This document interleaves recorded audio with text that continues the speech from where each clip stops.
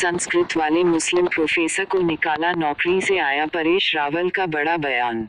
रनरेज की आवाज़ न्यूज़। बनारस हिंदू विश्वविद्यालय बीएचयू में मुस्लिम प्रोफेसर द्वारा संस्कृत पढ़ाए जाने के विरोध का मामला बड़ा रूल ले चुका है। ऐसे में एक्टर और बीजेपी के पूर्व सांसद परेश रावल ने अपनी राय पेश की है। उन्होंने कहा कि इस तर्क से तो मोहम्मद रफी को भजन ही नहीं गाने चाहिए थे।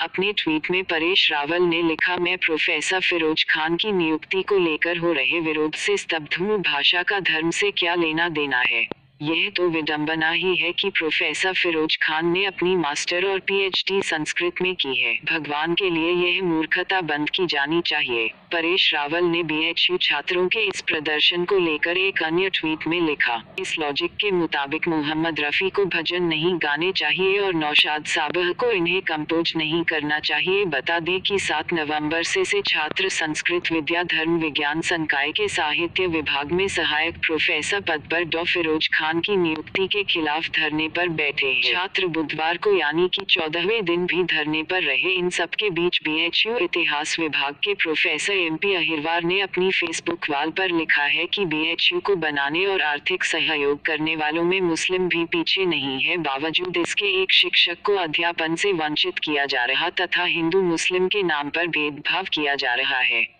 विदर्भ का number one news channel Rangrez की आवाज़ न्यूज़ आप लाइक शेयर सब्सक्राइब करें। चैनल की डिस्क्रिप्शन में दी हुई लिंक पे जाकर हमें सपोर्ट करें।